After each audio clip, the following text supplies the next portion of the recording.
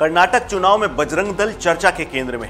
PM Modi ने भी अब इस घमासान में अपनी डुबकी लगा दी, क्योंकि कांग्रेस घोषणा पत्र में इस बार बैन लगाने का ज़िक्र कर चुकी है।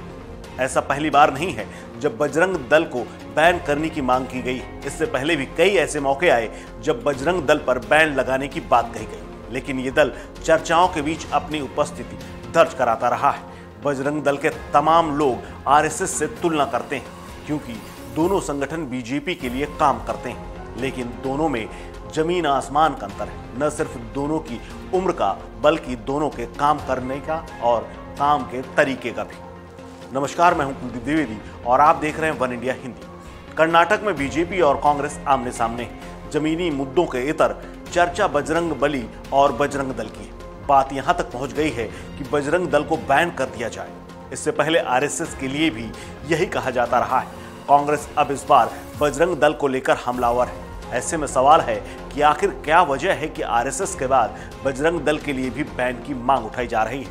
दरअसल, राष्ट्रीय स्वयंसेवक संघ की तरह ही हिंदुत्व के मुद्दे पर मुखर बजरंग दल का अपना एक इतिहास है। बजरंग दल के काम करने का स्टाइल और संगठन की संरचना भी संघ से काफ़ी हद तक अलग है। या यूँ कहें कि बजरंग दल गर्म दल के रूप में कहा माना जाता है। इसीलिए इसकी तुलना सिमी और पीएफआई जैसे आतंकी संगठनों से भी हो चुकी है। इस बार कर्नाटक में कांग्रेस ने इसी को आधार बनाकर बजरंग दल पर बैन लगाने की घोषणा की है। कांग्रेस का कहना है कि बजरंग दल के कार्यकर्ता नफरत और हिंसा बढ़ाने के लिए काम करते हैं। बजरंग दल पर बैन करने की वादे के बीच संगठन के कामकाज, विवादों के किस्से और इसके इतिहास के बारे में भी जानना बेहद ज़रूरी है। भारत में बजरंग दल की स्थापना उन्नीस सौ चौरासी में हुई। उस वक्त राष्ट्रीय स्वयंसेवक संघ और विश्व हिंदू परिषद जैसे संगठन देश में स्थापित हो चुके थे। गठन के बाद बजरंग दल ने हिंदुत्व के मुद्दे को खूब धार दी बीजेपी और आरएसएस ने एक तरफ़ राम मंदिर के मुद्दे को देश भर में छेड़ दिया। उन्नीस सौ चौरासी से पहले जो काम विश्व हिंदू परिषद और संघ नहीं कर पाए, उसे बजरंग दल ने ज़ोर शोर से किया। बजरंग दल की स्थापना विनय कटियार ने की थी। इसकी स्थापना का मुख्य उद्देश्य ये बताया गया था कि मठ और मंदिरों में जो कब्जा हुआ है, उसे हटाने के लिए इसका गठन किया गया है। कटियार के मुताबिक बजरंग दल की शुरुआत में राम मंदिर और बाबरी मस्जिद मामले पर फोकस करने के लिए था। बाद में हमने काशी और मथुरा का भी नारा दे दिया है। दरअसल संघ पर उन्नीस सौ चौरासी तक दो बार बैन लग चुका था और इसकी स्थापना के समय बजरंग दल के कार्यकर्ताओं को राम जानकी रथ की सुरक्षा की ज़िम्मेदारी दी गई थी। ये रथ राम मंदिर निर्माण के लिए निकला था और प्रशासन ने यूपी में सुरक्षा देने से साफ़ इनकार कर दिया था, जिसके बाद विनय कटियार ने बजरंग दल की एक इकाई गठित की और उसे इसकी सुरक्षा में लगा दिया। संघ वहीं किसी को भी ऐसे काम में शामिल होने से बचता रहा है, जिसे बैन का खतरा रहा हो। लेकिन हिंदुत्व के मुद्दे को आगे बढ़ाना था, माना जाता है कि विश्व हिंदू परिषद ने अपने युवा इकाई बजरंग दल का गठन किया।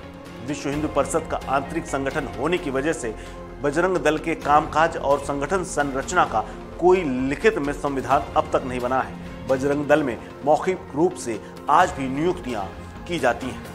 अब बात आती है संघ से इसके अलग कार्य प्रणाली की। तो 1950 के बाद जब राष्ट्रीय स्वयंसेवक पर से बैन हटा, तब संघ ने एक संविधान बनाकर सरकार को दिया। इसमें संघ के कामकाज पदाधिकारियों के चयन के बारे में विस्तार से जानकारी दी गई थी। संघ में कार्यवाहक तौर पर सर कार्यवाहक शक्तिशाली होते हैं, जिसका हर एक तीन साल में चुनाव किया जाता है। जबकि विश्व हिंदी परिषद का आंतरिक संगठन होने की वजह से बजरंग दल के पास कामकाज और संगठन संरचना का अपना कोई लिखित संविधान आज तक नहीं। बजरंग दल में मौखिक तौर पर ही नियुक्तियाँ की जाती हैं। वहीं राष्ट्रीय स्वयंसेवक संघ बड़े बड़े मुद्दों पर हिंदुत्व के प्रतिनिधित्व के तौर पर अपना विचार रखती है। संघ के कार्यकर्ता इस विचार को समाज के बीच अलग अलग माध्यमों के ज़रिए ले जाते हैं। बजरंग दल। छोटे छोटे मुद्दे जैसे ईसाइयों के बढ़ते असर, धार्मिक स्थलों का नवीनीकरण आदि मुद्दों पर काम करती है। बजरंग दल गौरक्षा के लिए ज़मीन पर काम करने का दावा तक करती है। वहीं दूसरी तरफ़ आरएसएस आम तौर पर विजयादशमी और हिंदू नववर्ष पर रथ संचलन करती है। इसमें आरएसएस के कार्यकर्ता अपने इलाके में कतारबद्ध तरीके से सड़कों पर घूमते हैं। इसे संघ का शक्ति प्रदर्शन भी कहा जाता है।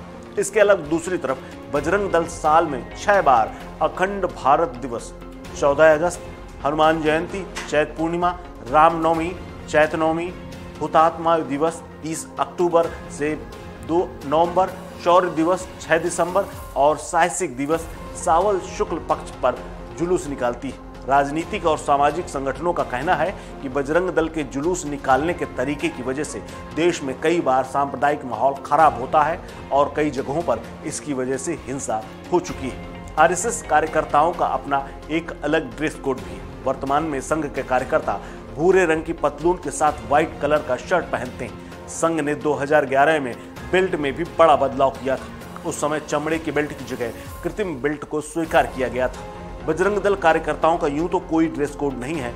हालाँकि कार्यकर्ता बजरंग दल लिखी हुई पट्टी का उपयोग कंधे और सिर पर डालने के लिए ज़रूर करते हैं। इसके अलावा इसके विवादों की बात करें तो मध्य प्रदेश में पूर्व सीएम दिग्विजय सिंह की सरकार के दौरान सिमी पर बैन लगा था, जिसके बाद उन्होंने बजरंग दल पर भी बैन लगाने की मांग की थी। 1999 में दिग्विजय सिंह ने इसके लिए बकायदा केंद्र की अटल बिहारी सरकार को पत्र भी लिखा था। इसके अलावा साल 2002 में जब गुजरात में दंगे हुए, तब भी बजरंग दल का नाम सामने आया था। बजरंग दल के बाबू बजरंगी को नरोदा पाटिया और नरोदा गाँव मामले में मुख्य आरोपी बनाया गया था। बजरंग दल के कई कार्यकर्ताओं पर हिंसा भड़काने के केस दर्ज किए थे लेकिन हाल ही में नरोदा पाटिया वाले मामले में सभी को बरी कर दिया गया है। वहीं उन्नीस सौ निन्यानवे में ओडिशा में क्योंझर में ऑस्ट्रेलिया के मिशनरी काम करने के लिए आए।